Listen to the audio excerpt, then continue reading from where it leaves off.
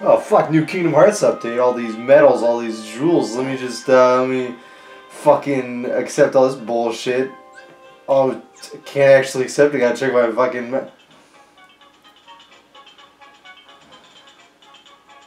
Oh fuck! Off. The time has come.